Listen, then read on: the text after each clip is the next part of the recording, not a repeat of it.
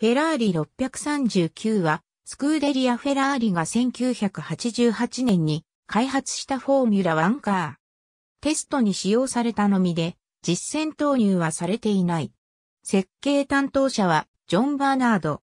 フェラーリとしてのコードナンバーである639が、そのまま一般的な名称として使われるケースが多いが、フェラーリ F188 との別称も存在する。1988年に制作された639の最大の特徴は、現代にもつながるステアリングの裏に取り付けられたパドルを操作することで、シフトチェンジが行えるタイプのセミオートマチックトランスミッションを初めて搭載した車だったことである。1987年よりフェラーリのテクニカルディレクターに就任したジョン・バーナードは、エンツォ・フェラーリから今までにない革新的なマシンを作ってほしいとの要望を受けた。バーナードはイギリスに設立した GTO において F1 では初めてとなるセミオートマチックトランスミッションの開発を行った。システムの原型は1979年に 312T4 に搭載してテストされていたが、ドライバーのジルビル・ヌーブが好まずお蔵入りになっていた。フェラーリは1989年より全面施行される新レギュレーションに対応して3.5リッター自然吸気 V12 エンジンを新開発した。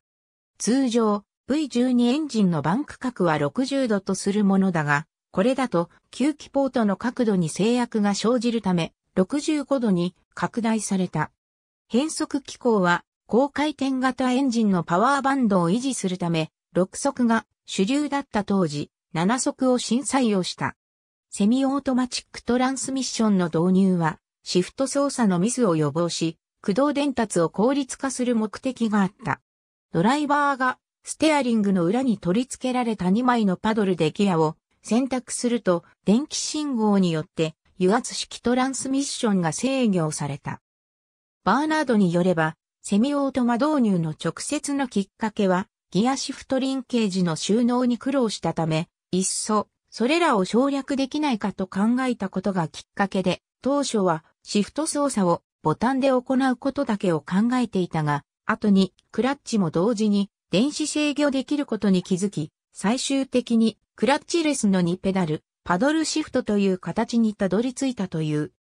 1988年5月の初テストでは、シフトアップは全自動だが、シフトダウンは手動という形式のものも試されたが、当時はまだスロットルの電子制御技術が未成熟で、自動的なブリッピングが行えなかったため、シフトダウンには困難を伴った。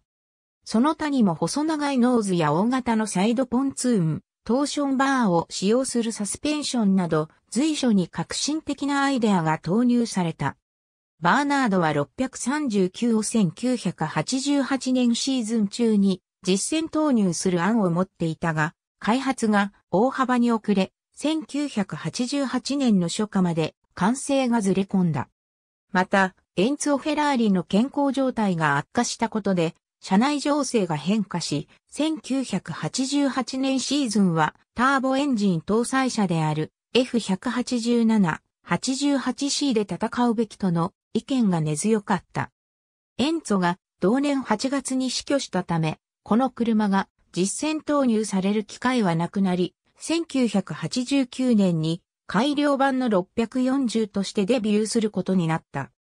639から640、641、641、2、642、643まではコードナンバーで呼ばれることが多く、総称的に639系とくくることもある。ありがとうございます。